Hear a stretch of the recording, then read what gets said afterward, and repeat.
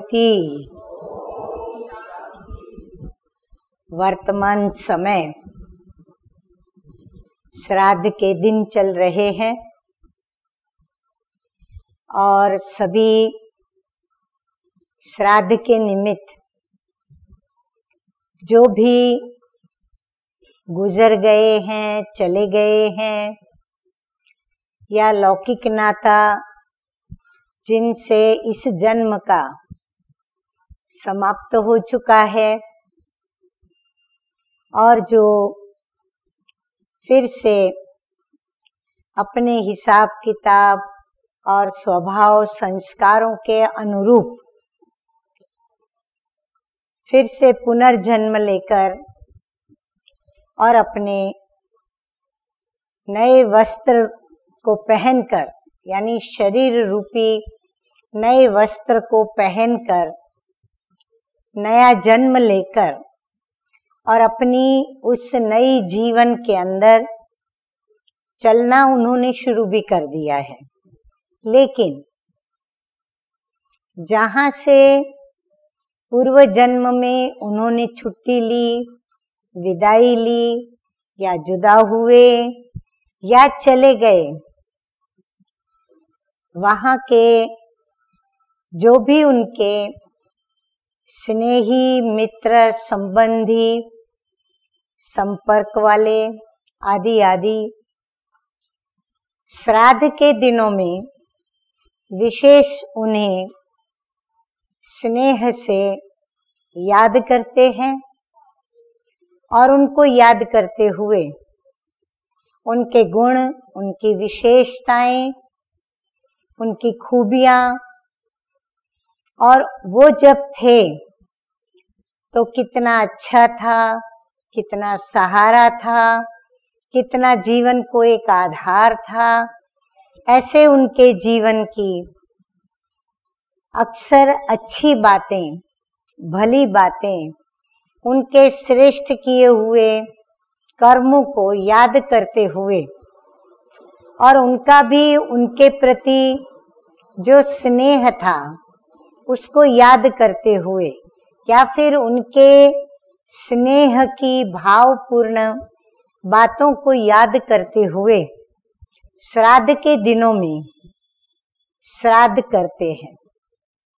परंतु पहले भी हम बता चुके हैं कि श्राद्ध यदि स्नेहपूर्ण और श्रद्धा के साथ और समझदारी के साथ और उन आत्माओं को शुभ वाइब्रेशंस पहुँचाने अर्थ या उन आत्माओं की जहाँ भी अतृप्ति रह गई हो, उनको तृप्त करने की भावना के साथ यदि किया जाता है तो वो श्राद्ध। और उस दिन के जो भी शुभ वाइब्रेशंस हैं, वो उन तक पहुँचते हैं। वरना यह श्राद्ध निमित्त मात्र एक औपचारिकता ही बन करके रह जाता है।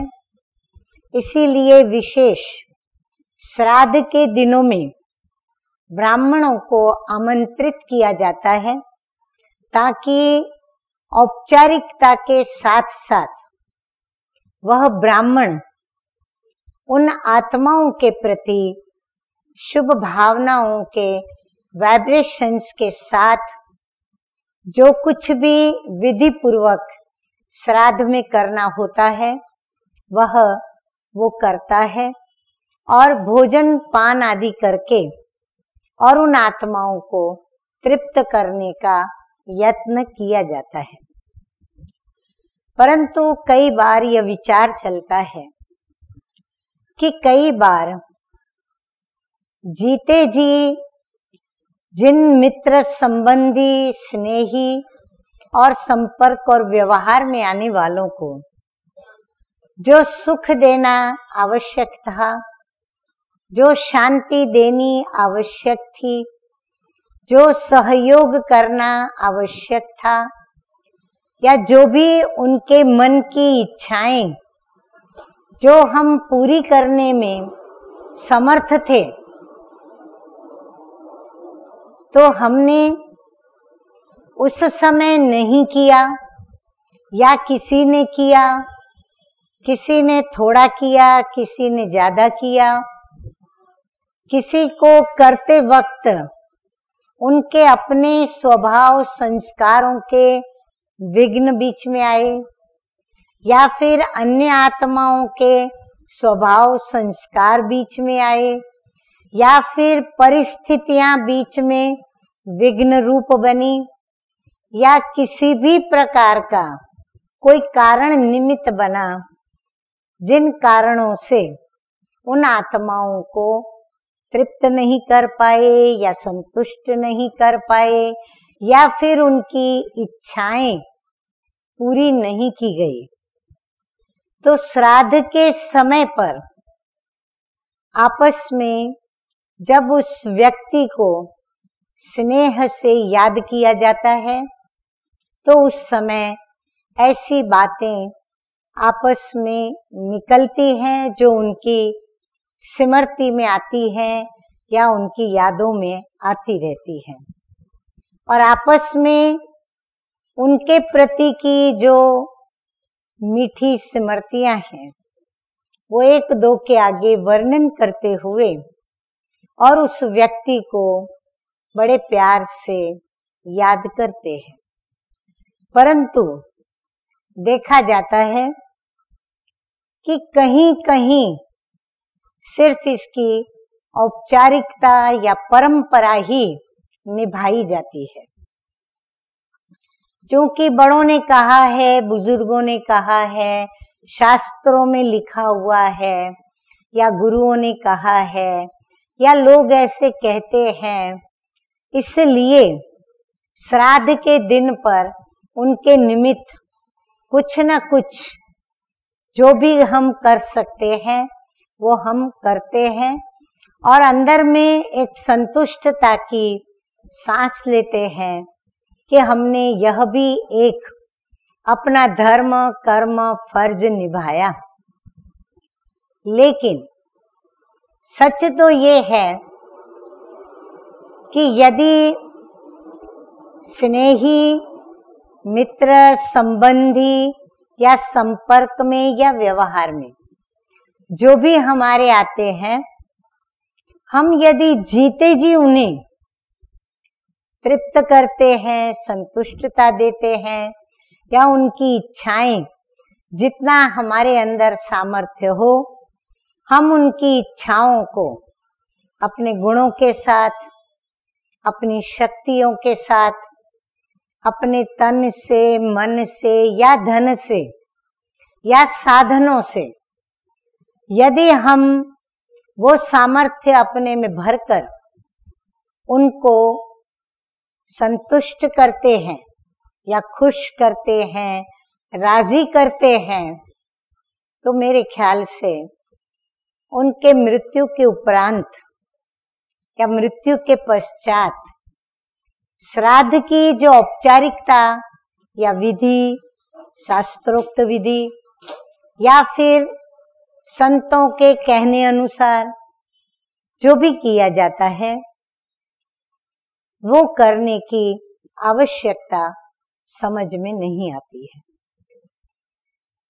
और आवश्यकता है भी नहीं। क्योंकि हो सकता है जिन्होंने शरीर छोड़ा, जो हमारे मित्र, संबंधी, संगी, साथी बनकर के हमारे साथ रहे। उन्होंने हमारे से भी ज़्यादा कई ऐसे अच्छे कर्म किए, अच्छे पुण्य कर्म भी किए। कईयों को गुप्त में दान पुण्य किया, सहयोग दिया, जिसका पता शायद हमें भी न हो।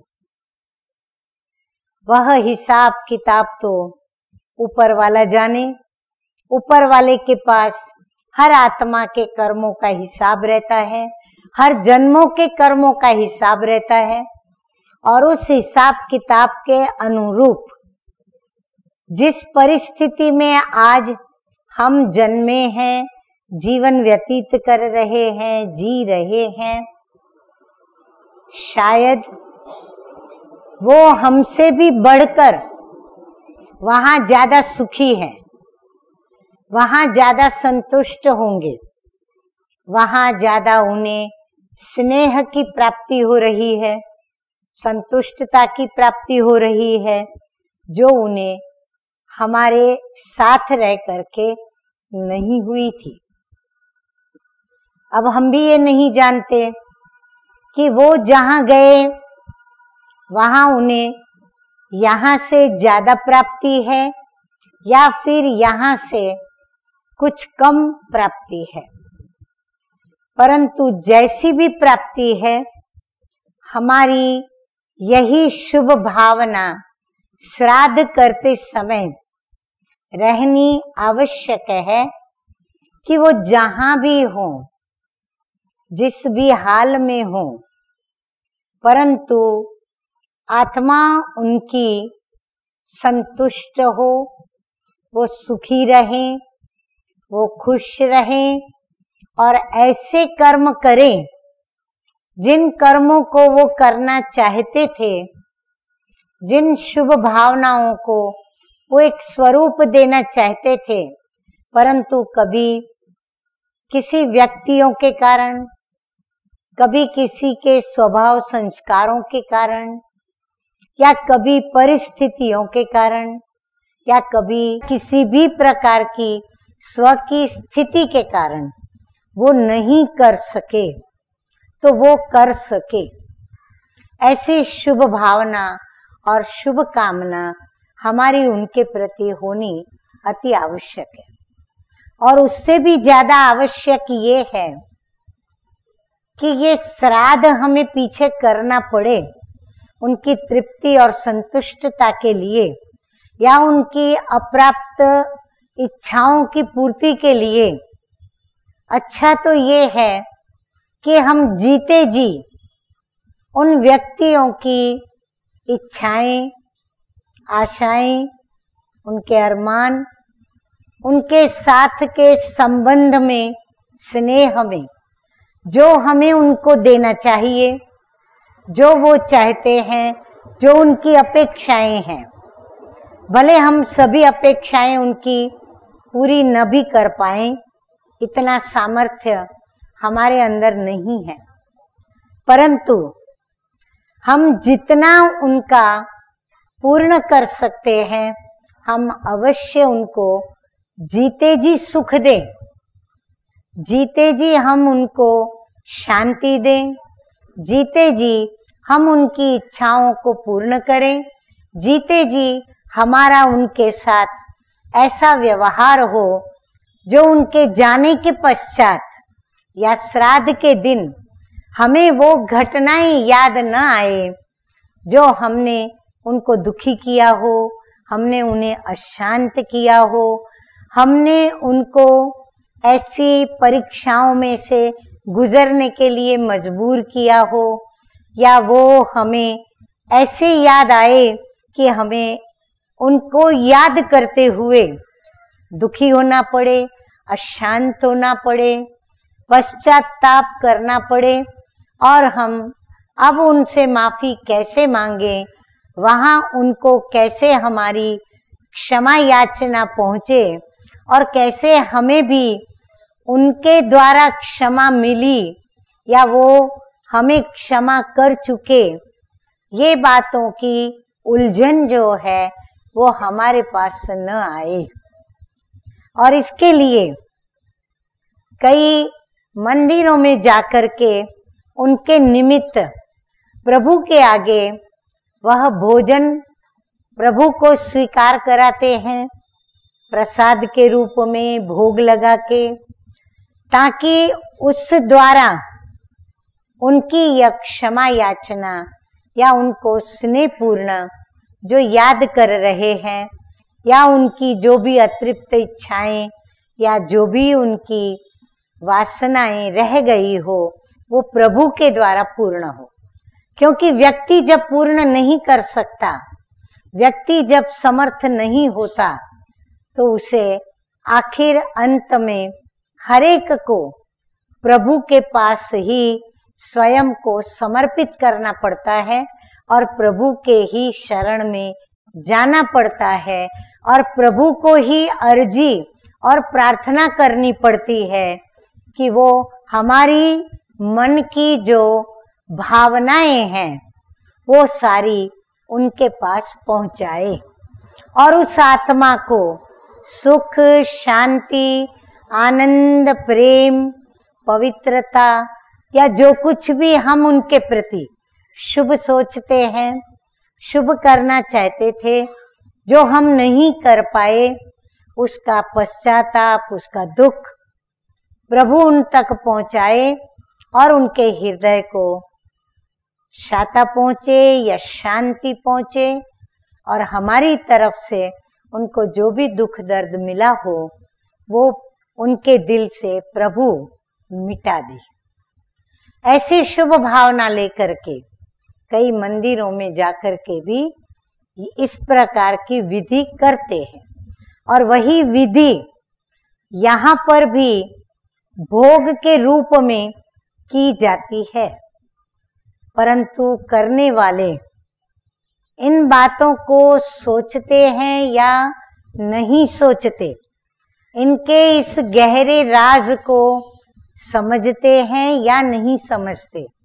तो राजों के साथ, उस समझदारी के साथ और उस शुभ भावना और शुभ कामना को लेकर के यदि प्रभु को यह भोग लगाया जाए उस आत्मा के प्रति तो यह प्रभु के पास अवश्य भावना है, इसीलिए पहुँचता है। श्रद्धा से किया जाता है, इसीलिए वह पहुँचता है और वह श्राद्ध का दिन उनके लिए निमित्त बनता है। हमारी भावनाओं को सफलता के साथ उनके पास पहुँचाने में। ये है श्राद्ध के विषय में रहस्य। बाकी तो हमने कई बार हर वक्त श्राद्ध के विषय में कुछ न कुछ बातें बताई हुई हैं। जिन बातों को आप सभी ने सुना हुआ है, समझा हुआ है और आशा करती हूँ कि जीते जी बाबा ने जब हमको इस पुरानी दुनिया से, पुरानी देह से, पुरानी दुनिया के जो भी माया के वैभवी या आकर्षित करने वाले जो भी आकर्षण हैं, चाहे देह के आकर्षण, चाहे व्यक्तिगत व्यक्तियों के स्वभाव, संस्कार, विशेषताएँ या उनकी प्रभावित करने वाली प्रतिभाएँ, इन सभी से यदि हम कहीं भी आकर्षित होते हैं तो बाबा हम बच्चों को कहते हैं कि बच्चे, इस देह और देह के भान और देह के इन सभी व्यक्ति, वस्तु, पदार्थ और जो भी इस पुरानी दुनिया के अंदर विषय विकारों से ग्रसित, मायावी जो भी आकर्षण है, उन आकर्षणों से स्वयं को मुक्त रखें। मुक्त रखने का एक ही तरीका है कि इन बातों से जीते जी स्वयं को मर गए हैं, ऐसा अंदर में भाव पैदा करें। भाव पैदा करने का मतलब जीवन के अंदर यह सूक्ष्म में धारणा बनाएँ ताकि इन सभी आकर्षणों से बचकर हम अपनी जीवन को स्वच्छ चला सकें, शुद्धता में रख सकें।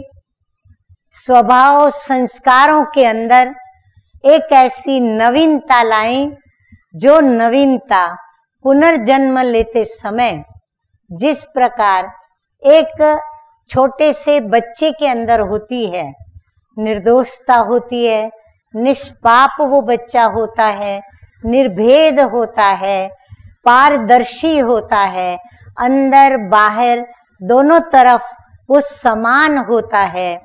जो मुखवटे आज लोग पहन के घूमते हैं, अंदर एक होते हैं, बाहर दूसरे होते हैं, वो मुखवटा उस नवीनता के अंदर नहीं होता, उस बच्चे में नहीं होता, न उस नए जीवन के अंदर होता है। तो इसी प्रकार जीवन के अंदर हम उस नवीनता को धारण करके फिर नए जन्म से जिए। जीते जी पहले मरे। मरे माना हमें कोई देह का त्याग नहीं करना है।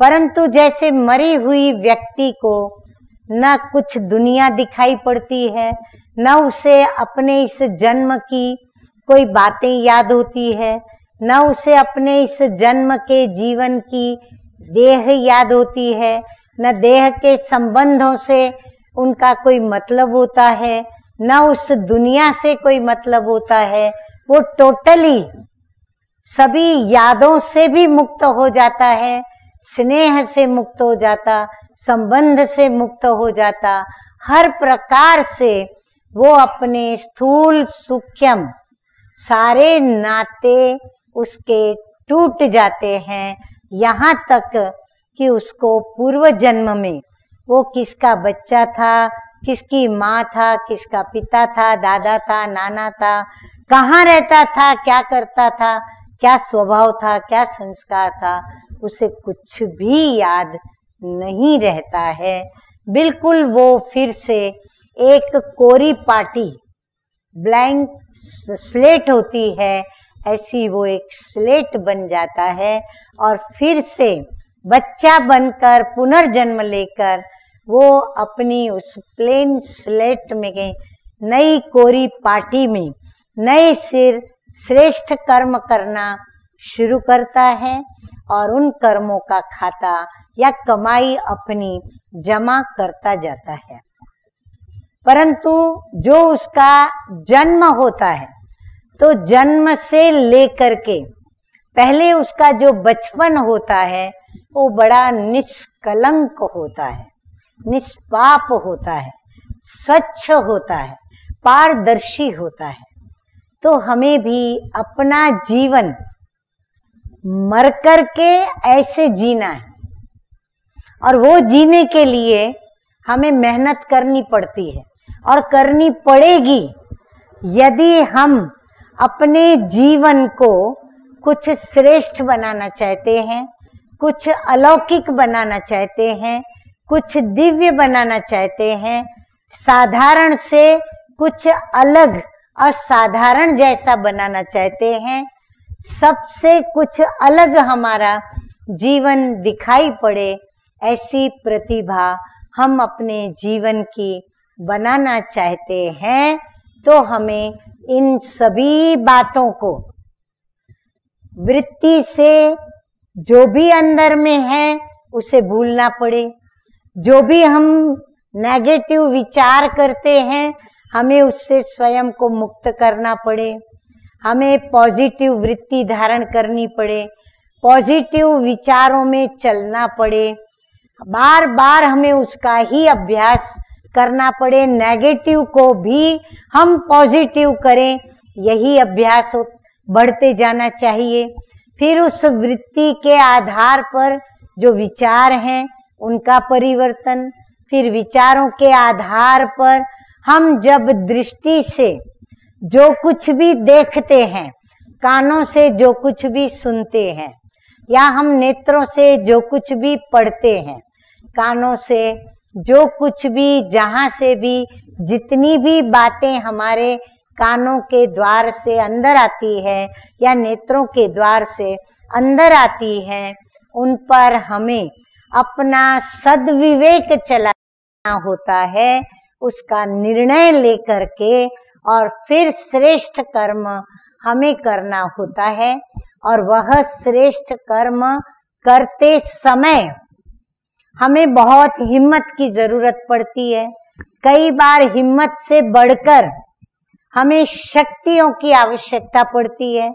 फिर उन शक्तियों को भी यूज़ करने के लिए हमें बहुत बड़े साहस की ज़रूरत पड़ती है और साहस से भी बढ़कर जीवन में हमें एक क्रांतिकारी बन करके चलने की आवश्यकता पड़ती है, क्योंकि जब जीवन का परिवर्तन हम जीते जी मर करके, उन्हीं मित्र संबंधियों के बीच में जब करते हैं तो उनके लिए वो अजनबी बात होती है, नई बात होती है।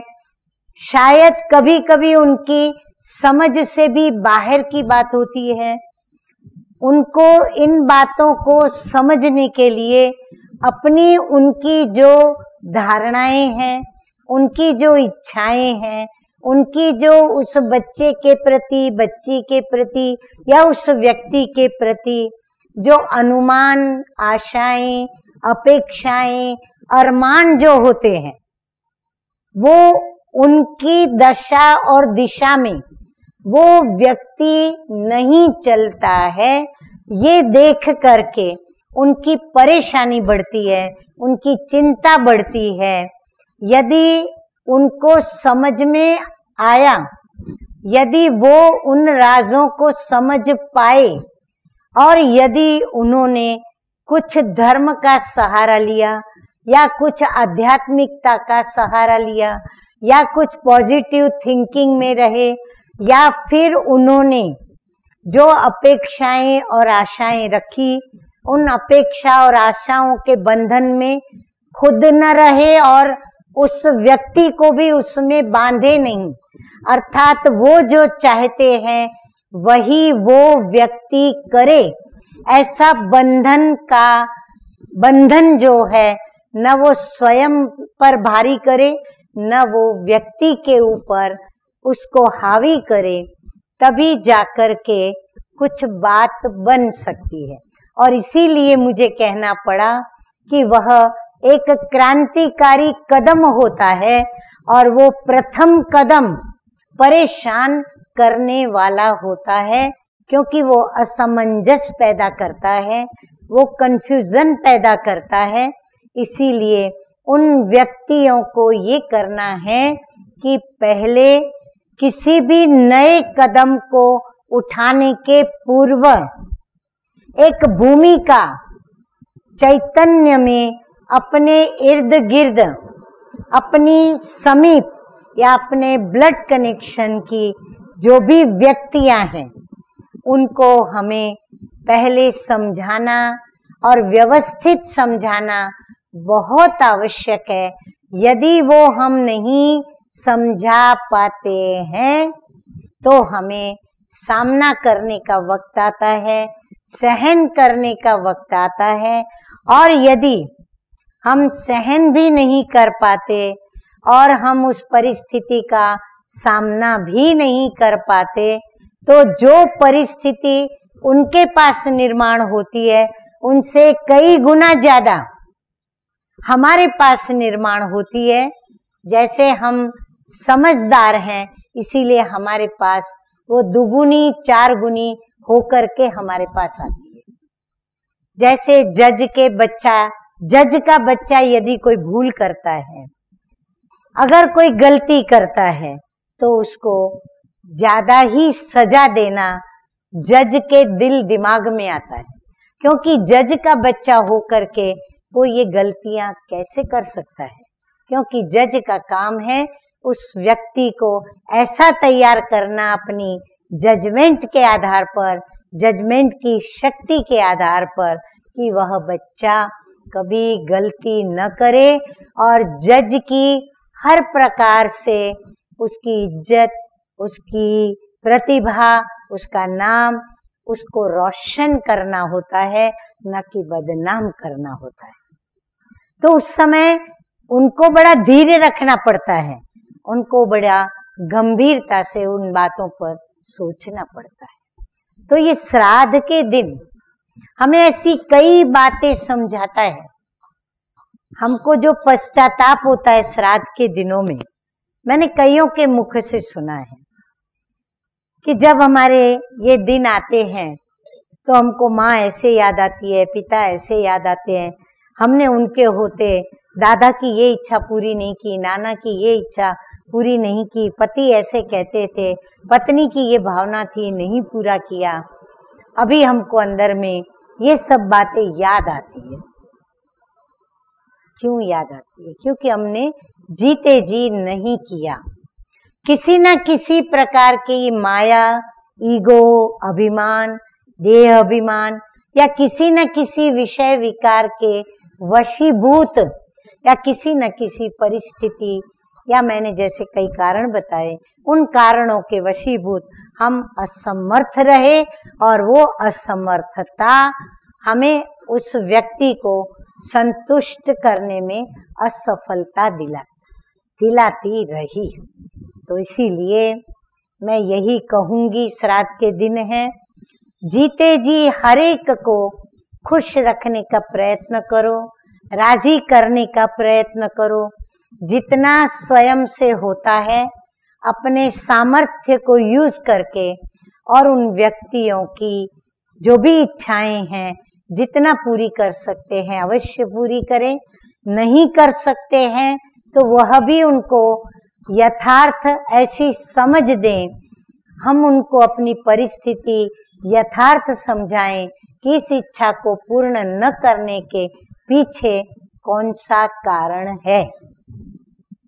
तो आशा करती हूँ कि हम श्राद्ध के दिनों पर उन व्यक्तियों को याद करते हुए, उनकी विशेषताओं को, गुणों को अपने जीवन में उतारने की कोशिश करेंगे और साथ साथ श्रद्धा से हम उन्हें याद करेंगे और श्रद्धा से उनके निमित्त जो करने का संकल्प आए, वो हम करेंगे। ओम शांति।